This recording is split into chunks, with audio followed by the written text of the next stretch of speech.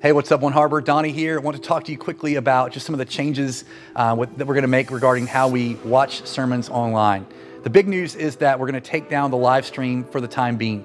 Um, you know, we've been thankful for technology over the last 13 months. It's allowed us to to keep holding out Jesus to each other and worshiping together and praying together. We went five months, we couldn't even gather in person. I don't know what we would have done without that technology. And then around July last year, if you remember, we were able to start regathering, but um, with lots of measures in place. And, and, so many people felt like, gosh, it just wasn't the right time for them to come back. They felt, you know, health concerns. Um, and, and so, so we jumped in and figured out live stream. Some volunteers have just worked tirelessly on that. It's been a tremendous strain for them, but, but they've done so joyfully because we really saw the necessity of it.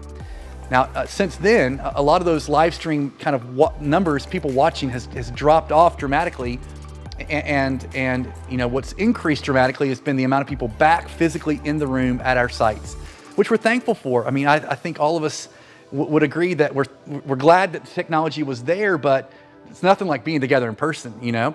Um, and so we are still, um, you know, fighting for, for, you know, gathering in safe ways on Sunday mornings. In fact, all of our sites, um, you know, uh, now as we start to work through lifting these restrictions, right now we will still have a socially distant section at every location for folks. We're all still wearing masks right now. I'm sure that'll drop off eventually, but you know, we're, we're still, you know, doing as many things as we can to make those Sunday mornings safe.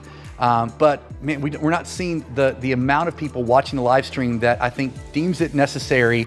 Um, you know, when we look at the, the strain it is on, on our volunteer teams, which have, have all, have all been, um, you know, um, have, have, become much smaller over this last season.